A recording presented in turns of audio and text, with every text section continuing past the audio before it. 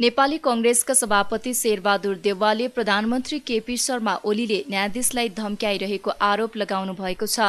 बुधबार काठमाडौँमा आयोजना गरेको अन्तर्क्रिया कार्यक्रममा देवालले न्यायाधीशहरूलाई ओलीले अनावश्यक धम्की दिएको भन्दै कुनै न्यायाधीश नडराउने र निष्पक्ष फैसला आउने बताउनुभयो।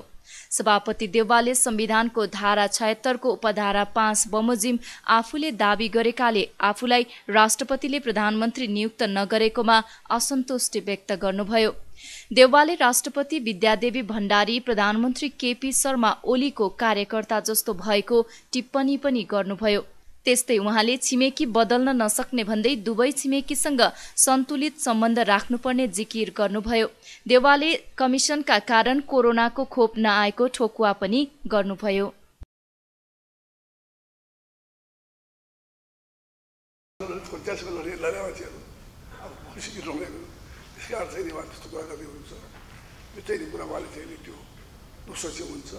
अर्को कुरा के भन्दाखेरि अब यो चाहिँ कुरा नेपालको संविधानमै अनुसार राष्ट्रपतिले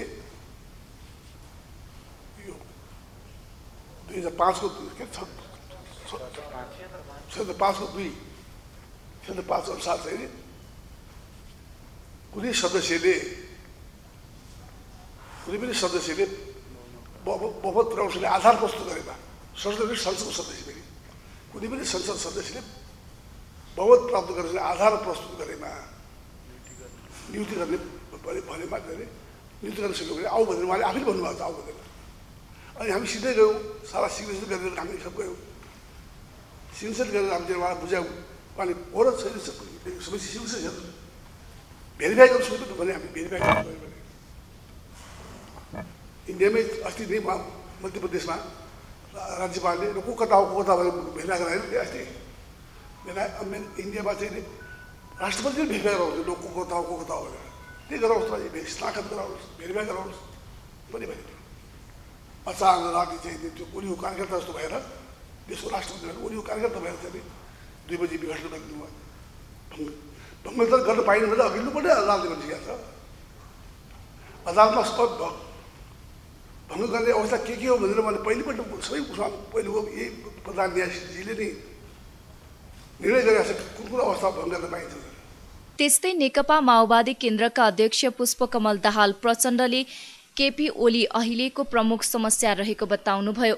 ओली प्रवृत्ति अहिले लोकतन्त्र राष्ट्र र संविधानका निम्ति खतरा बनेको भन्दै उहाँले त्यसका विरुद्ध एकसाथ रहेको धारणा राख्नुभयो। आफू कहिले यता र कहिले उता हुनुमा आफ्नो कमजोरी भए पनि यसमा मूलभूत रूपमा कसको हात छ भनेर बुझ्न समेत आग्रह गर्नुभयो। हिजो गणतन्त्रको निम्ति आन्दोलन गर्ने बेलामा केपीजी कहाँनिर हुनुहुन्थ्यो? हामी यी पाँच कहाँनिर थियौँ भनेर मात्रै स्मरण गरियो भने पनि थाहा हुन्छ। एउटै ठाउँमा हामी थिएनौँ। एउटा गणतन्त्रको निम्ति संविधान सभाको निम्ति शान्ति सम्झौताको निम्ति शान्ति प्रक्रियाको निम्ति पुरै बल गर्ने प्रवृत्ति हामीसँग थियो भने अर्को यो ठिक हुँदैन ठिक छैन गर्न हुँदैन भन्ने थियो। र त्यो लडाइँ अहिले यो रूपमा प्रकट भएको छ। प्रवृत्ति उही नै हो। अब मेरो एउटै मात्रै प्रश्न साथीहरूलाई अहिले मलाई उत्तर चाहिए पनि छैन। मैले तपाईँहरूलाई स्पष्टीकरण दिन खोजे पनि होइन। तपाईँहरूले भन्नुभयो नि प्रचण्ड चाहिँ अलिकति कहिले यता कहिले उता भन्नुहुन्छ। मेरो प्रश्न के छ भने मलाई कहिले यता कहिले उता कसले बनायो? म मेरो कमजोरी त होला म माने। म युद्धबाट शान्तिमा आएँ। शान्तिबाट संविधान सभामा लान बल गरे संविधान सभाबाट सङ्घीय लोकतान्त्रिक गणतन्त्र घोषणा गराउन बल गरे। सुरुमा एमालेसँग मिलेर सरकार बनाए म सबभन्दा ठुलो पार्टीको नेतृत्व गर्थेँ त्यति बेला सैनिक सर्वोच्चता कि नागरिक सर्वोच्चता भन्नेमा लडाइँ पर्यो। म नागरिक सर्वोच्चताको पक्षमा लड्न बल गरेँ। सेनालाई हाबी गराउन खोज्ने प्रवृत्तिका विरुद्ध लडे। अनि गम्भीर राजनैतिक सङ्कट पैदा भयो। सत्ता साझेदारले नै सत्ता छोड्ने स्थिति बन्यो। मैले सजिलै खुसी छोडिदिएँ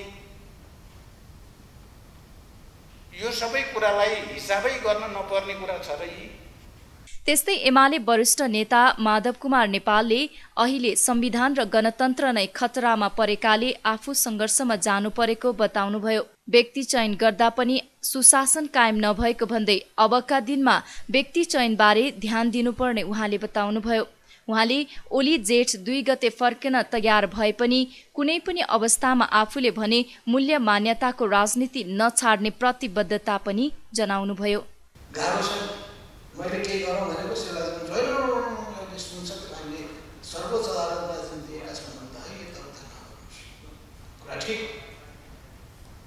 भनेपछि त्यसपछि हामी भनिरहेका छौँ तपाईँले उठाउनु कुरा दुई गति के पो होला त्यो जेसुकै भए पनि मूल्यको राजनीति जाने यति भन्न चाहन्छु विचार सिद्धान्त मूल्य मान्यता जुन मान्यताको राष्ट्रसँग जोडिएको होस् जनतासँग जोडिएको होस् र समाजको परिवर्तनसँग जोडिएको होस् यी मान्यताहरू छोडिँदैन यो म तपाईँलाई भन्न चाहन्छु बाँच्नु देख्छ र तपाईँले जुन जोडी आएकोले काने चिनेका भन्ने टाइपको रहनु त्यसले हामीलाई पछित गरिहाल्यो भन्नु पनि स्वाभाविक किन तपाईँहरूसँग धेरै त्यस्ता चिज सबैको मन परिरहेको धेरै मन पनि पोल्छ समाजका घटनाक्रमहरू पोल्छ किन हुँदैन? मैले आफै भन्छु यो पार्टी पार्टीमा परिवर्तन पार्टीका कार्यकर्ताहरूले यो छुवाछुत महिला हिंसाका विरुद्धमा या भनौँ समाजमा भइरहने अत्याचारका विरुद्धमा दृढताका साथ उभिने हो भने प्रणामिक समाजले हातेमालो गर्ने हो भने राज्यलाई सहयोग राज्यको केही कदम अगाडि बढ्ने हो भने यी चिजमा परिवर्तन गर्न सकिने गर्न सकिन्छ। त्यो व्यवहार कसरी यी सबै कुराहरूको प्रति हामी गम्भीर भएर सोच्नुपर्छ र यसमा हामीले यो अनुभूति दिलाउनुपर्छ हामी उही नै होइनौँ यो प्रवृत्तिका विरुद्धमा जुटिरहेका छौँ। हामी त्यसैको पुनरावृत्ति गर्दैन। भनेपछि कोहीको निर्देशन कोही परिवर्तन चाहन्न अर्थात् भोलि प्रवृत्तिको पुनरावृत्ति नहोस्। कार्यक्रममा जनता समाजवादी पार्टीका अध्यक्ष उपेन्द्र यादवले मुलुकमा लोकतान्त्रिक मूल्य र मान्यतालाई जोगाउन र संस्थागत गर्नका लागि गठबन्धनलाई थप मजबुत बनाएर लैजाने धारणा राख्नुभयो।